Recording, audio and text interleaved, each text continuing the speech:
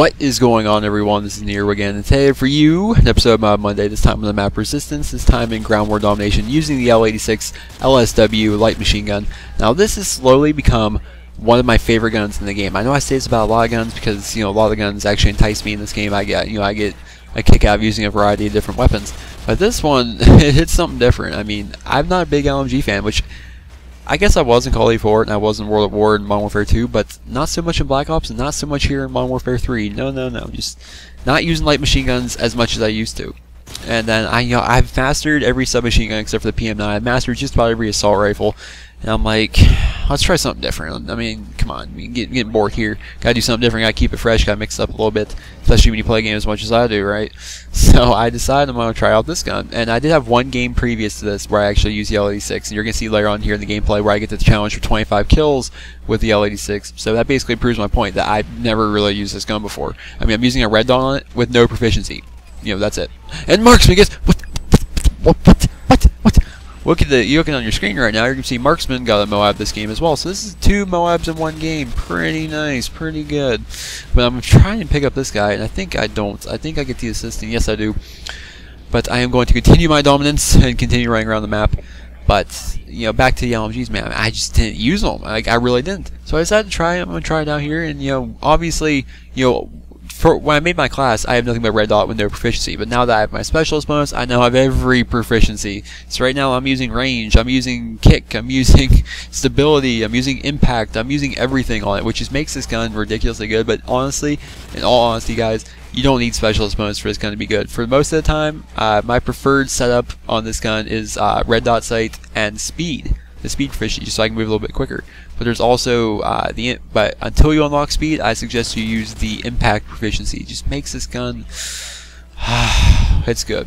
How good is this gun, you may ask? How good is the LSW, Nero? I'm still not sure. You haven't sold me on whether or not I should use this gun. Well, how about this? In one, well, one and a half days, I mean, uh, the day I've got this gameplay and a little bit of the next day, I between that time I got this gun to gold, and I've never used it before.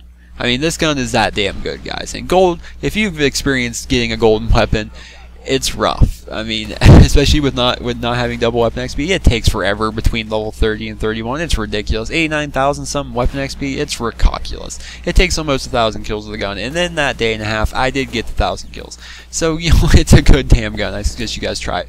I'm not gonna lie, I'm not gonna try and candy coat this. I fast forward that part of the gameplay because I kept missing and I didn't get a kill, and it was boring so I fast forward a little bit. I don't usually fast forward gameplay.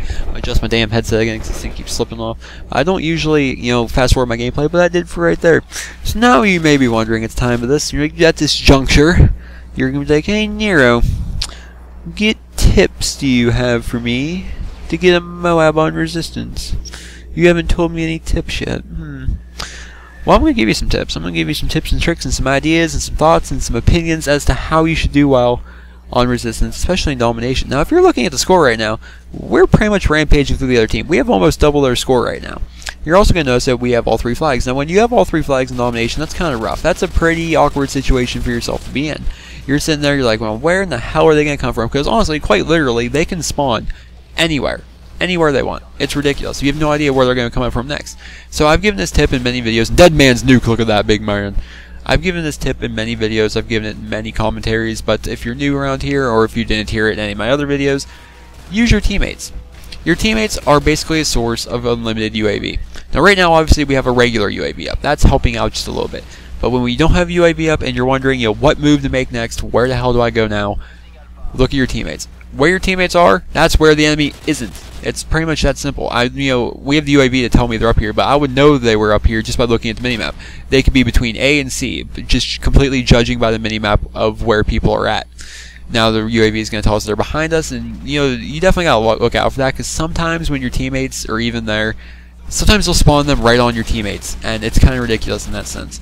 But you know, to play on resistance and to do well on resistance, especially for domination, which domination, search and destroy, are basically the only two game modes I play uh, you definitely want to keep yourself somewhere towards the middle area, or we call it the courtyard because it basically looks like a courtyard. And right here, I'm not gonna lie to you guys, the gameplay heats up. We're gonna get one kill.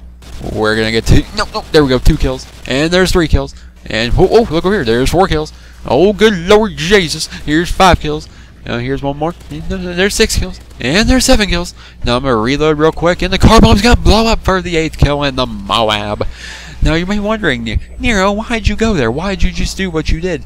I looked at the score, I realized we're rapidly approaching the end of this game, and I was on somewhat of a Moab streak, so I just ran out. I ran towards the C flag because that's the flag that they captured and I just so happened to outshoot every person. Well, I guess the person that got blown up by the car kind of just got unlucky, but you know it works out for me in the end, right? But we're going to be picking up our kills here with the Moab. A final team score for us of 200 to 100, which is doubling their score, which means we basically ransacked the other team. It wasn't even fair. But what you're looking at right now is a game-winning kill cam of a Moab. And if you're wondering a game-winning kill the Moab, there you go. It's basically you walking around smoke or whoever got the Moab running around smoke. But final score of 34 and 2 for me. Uh, Marksman, who also got Moab this game earlier in the gameplay, you guys may remember. Uh, final score of 51 and 9 for him. So pretty good game all around. I am playing with subscribers in this gameplay. I do have a full party in Ground War, which is just beast mode. It's easy mode. It's fun. And this was actually part of the uh, Day of a Million Moabs, which I guess it's not even a million, but we got 10 Moabs and actually made a montage of it.